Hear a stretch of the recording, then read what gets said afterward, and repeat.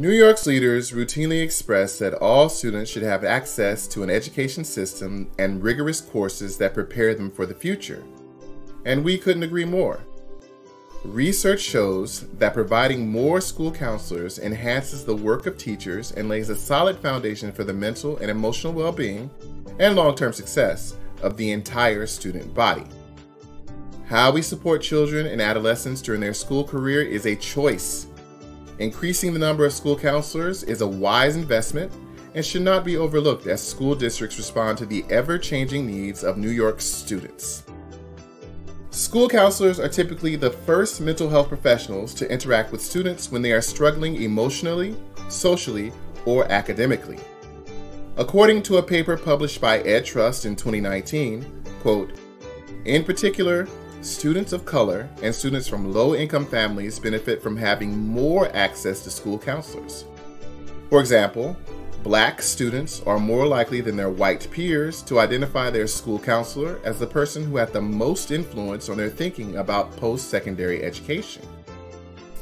And research links the student to school counselor ratios that meet the American School Counselor Association, ASCA, recommendation in high poverty schools to better academic outcomes for students, such as improved attendance, fewer disciplinary incidents, and higher graduation rates. School counselors are the only school professionals with a comprehensive approach to helping all students navigate their academic program, prepare for college and career, and thrive socially, mentally, and emotionally. In the wise words of William Clark, to deny students the equitable tools needed to be college and career ready is to deny them the opportunity towards an equitable future. In a classroom of 25 students, on average, five of them are struggling with mental health issues, including anxiety, depression, or trauma. The average caseload for a single school counselor is 356 students, grossly exceeding the recommended national maximum of 250 to 1. Shockingly, ACLU's report found over 90% of students nationwide attend schools that fail to meet the nationally recommended ratios for student to counselors, psychologists, nurses, and social workers. There is no crisis in student behavior, only a crisis of priorities leading to staff shortages and a lack of resources for support.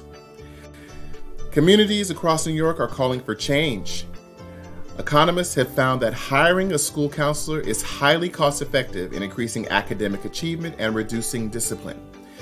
In the past 10 years, there has been a nearly 10% increase in the number of school counselors working in New York schools as student population has increased in urban areas. Effective September 2019, NYSED school counseling regulations require that every student in grades K through 12 have access to a certified counselor and that certified school counselors design and implement a comprehensive school counseling program. NYSSCA encourages and supports all students' academic, social, and career development through comprehensive school counseling programs.